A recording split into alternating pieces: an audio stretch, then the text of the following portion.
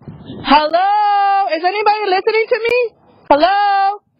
Hello? Hello? I'm calling your watch Hello?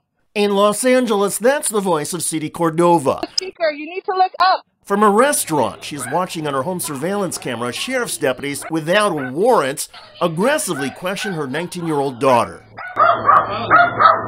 Minutes earlier, somebody at the apartment complex called 911 about people yelling and perhaps in distress. Hello? Nobody's in there, a parrot.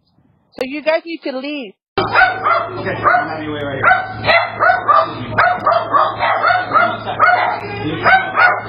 19 year old Eliza criticizes the police and yells, Don't touch me! So they handcuff her.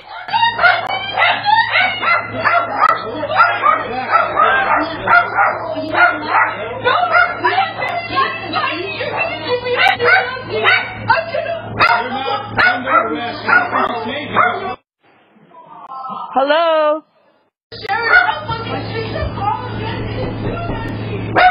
Outside, even as the daughter says her parents are heading home, the cops continue to keep the cuffs on tight and threaten arrest.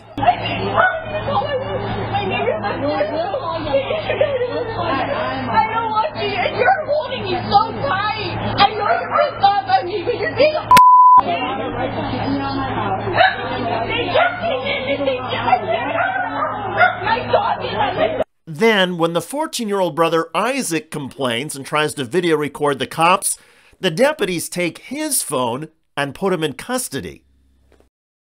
Mm. Eventually, the deputies realized there was no trouble with these teenagers. Still, a cop's argument with the parents when they got home prompted deputies to briefly detain the dad. All of this happened in October 2022. The Cordova family says they are still traumatized by the incident. And after posting the surveillance video on TikTok and asking for advice, the response was so overwhelming, the family retained a lawyer. And they are now suing the LA County Sheriff's Department for civil rights violations. The department will not talk about the lawsuit, but when the video first went viral, the sheriff issued a statement saying it did not show the full context. Quote, Deputies announced their presence and attempted to explain the nature of the call, but the occupants were uncooperative and refused to comply. After several attempts to have the occupants of the residence exit the location to ascertain if anyone was injured inside, the deputies made entry and a use of force against a juvenile occurred.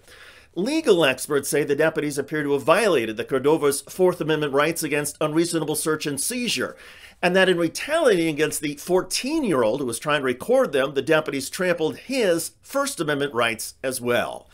To be fair, law enforcement does not always need a warrant to enter a home. There's something called exigent circumstances that can be in play. And that is if police believe there is somebody in distress or medical emergency at an address, the police can go in. And in this case, the door was reportedly slightly open.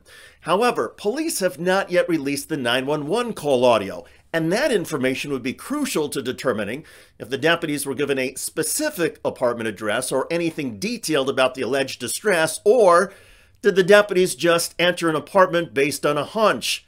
That is against the law. Also, once the deputies realized the teenagers needed no help and the parents were on the way, the law enforcement authorities should have de escalated everything. Instead, because the teenagers were justifiably shocked and angry at the deputies and criticized them, the deputies escalated and put the teens in handcuffs. That's outrageous and one can only hope the Cordova lawsuit against the LA Sheriff's Department is successful. Law enforcement authorities are supposed to protect and serve the community, not create anger and conflict. And whoever was in charge of this group of deputies should be fired.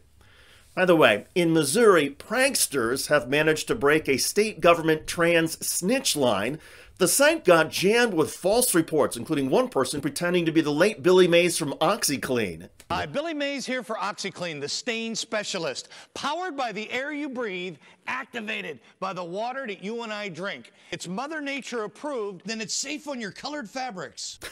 Check out that video at the link below. I'm David Shuster. Thanks for joining us.